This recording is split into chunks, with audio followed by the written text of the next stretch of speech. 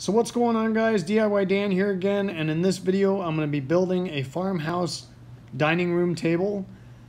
I constructed it using pallets, 2x4s and 2x3s for the most part. I also made it so it has an extension leaf on each side of the table. So with both extension pieces on the table, it will seat a total of 10 people. When you take those out, it still seats 6. Now halfway through this project, I decided to do the top with epoxy resin, and this would be my first time trying it. And man, did I realize there's a learning curve to doing epoxy resin. So this is gonna be video number one, and we're gonna go over the main construction of the table, and then video number two, I'll be doing the staining, the epoxy resin, and the final finish on it. So let's get to it. So I laid my pallet material out on a table to get an idea what it was gonna look like. Then since I was going to run this stuff through a planer, I had to make sure all the nails were removed out of the pallet material. Using a screwdriver and a pry bar and a punch and a hammer, I did that. I had bought this Wen planer specifically for this project, and I actually had really good luck with it. I started out by just playing with a couple pieces, and then once I found that it was going to work well, I ran multiple pieces through at a time at the same height and since it was pallet material, I found that running it through one side and then flipping it over and running it through the other side at the same height would cut off a little bit more material depending on the warpage of that piece of pallet material. This actually took quite a bit of time to do with the planer, but we did not have any issues with the performance of it. Once we had them all planed down to pretty close to the same height, we set them back on the table and began trimming them to fit on the table I had to run through some of them through the table saw to get them to the same width, depending on what row they were going to be in. And then I trimmed the edges on the miter saw, just took a little bit off to make sure it was square. Then I would lay them back on the table and mark the final cut.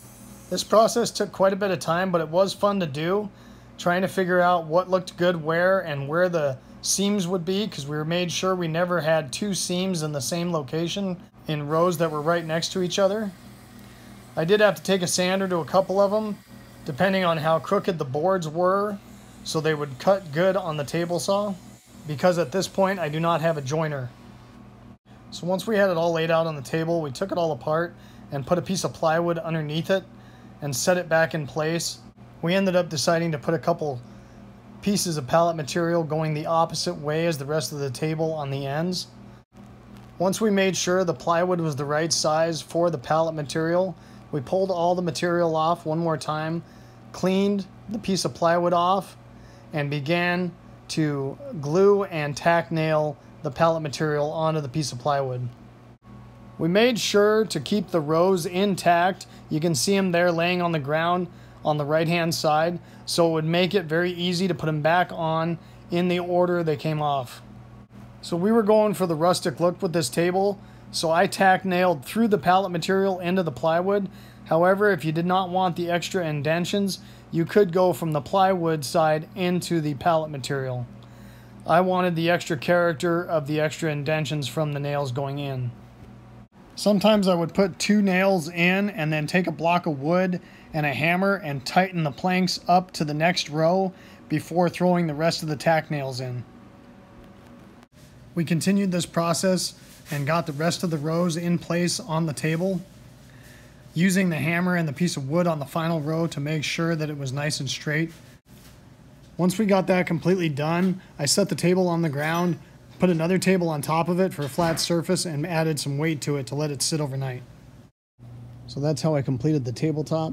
Now let's talk about the extension slides and the legs. So I flipped the tabletop over. I wanted to make sure my screws weren't going to be too long and I used 2x3s for the sides and the underneath slides. Right here I'm just pre-drilling the holes so I could anchor it.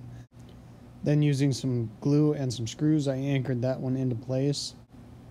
Once getting that anchored I went ahead and sanded down the underside of the plywood so I had a smooth surface for the extensions to slide in and out.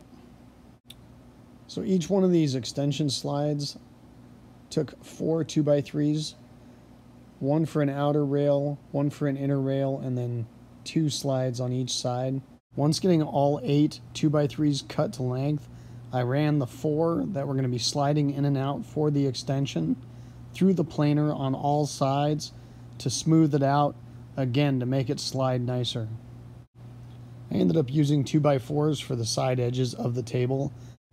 I anchored the 2x4s to the outer rail using countersunk screws. I made my legs out of 2x4s as well.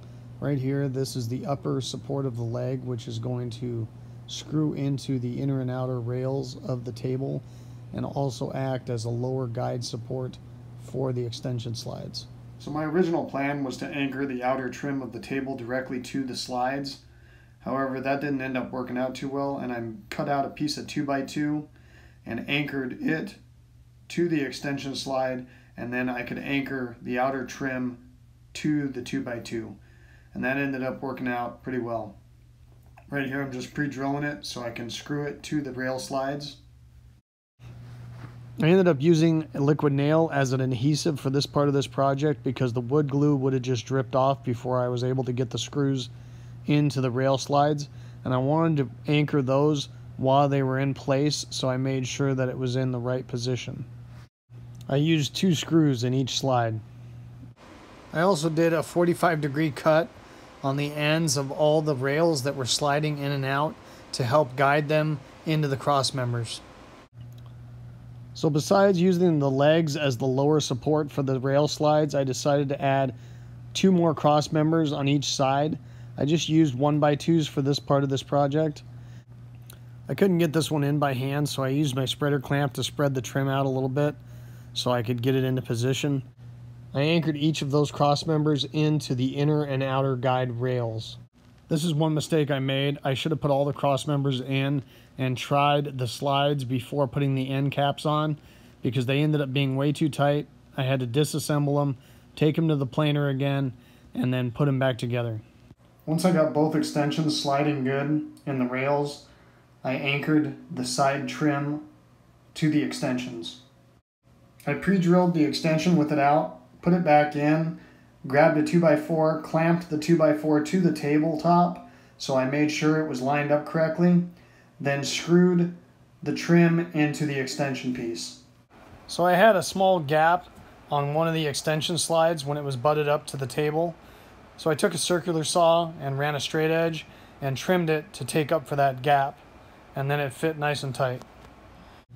So once again we used 2x4s to make the legs Right here is just the main base. I took these pieces to the miter saw and put an angle on them and then sanded them down a little bit to soften the edges. I screwed and glued the four small pieces of 2x4 to the two longer ones from the bottom so you would not see the screw heads. So the uprights of my legs are going to be three 2x4s wide. So I've got three little scrap pieces and I'm just measuring to make sure I am centered. Once I verified center, I marked where that three stack of 2x4s was and then marked them individually. So when I pre-drill my holes, I can make sure I was dead center in each 2x4. So then I took two small pieces of 2x4, pre-drilled them, and anchored them to one of my uprights. Then I screwed and glued that piece to the bottom part of my leg assembly. Once I got that anchored in place, I stood it up so I could anchor my cross braces between the two legs. I pre-drilled and screwed and glued those cross braces as well. I left a couple inches out on each side and tapered the ends to give it the look I wanted. Then I cut a piece of 2x4 to fit between the two cross braces, nailed that in place and then made the other upright and glued and nailed that in place as well. Then I got the upper part of the leg assembly that I made for a cross member underneath the table and anchored it to the upright assembly, making sure I was centered, and glued and screwed it into place. For some additional strength, and I liked the way it looked, I added some 45 degree gussets to the top and bottom. Those I just glued and nailed into place. So that's going to wrap it up for video number one. In the next video, we'll be going over the stain and the epoxy resin that I put on this table. For my first time trying it, it did not go well at all. I had done some research, but not nearly enough. We're going to go over all the mistakes I made, along with how I repaired those mistakes that I made. I'm also going to go over how I would have done things differently to prevent the mistakes that happened during this process. As always, I try and give the most information in the least amount of time as possible so as to not waste your time. If you enjoyed this video, please hit like and subscribe if you haven't already, and hope to see you next time. Have a good one. Later.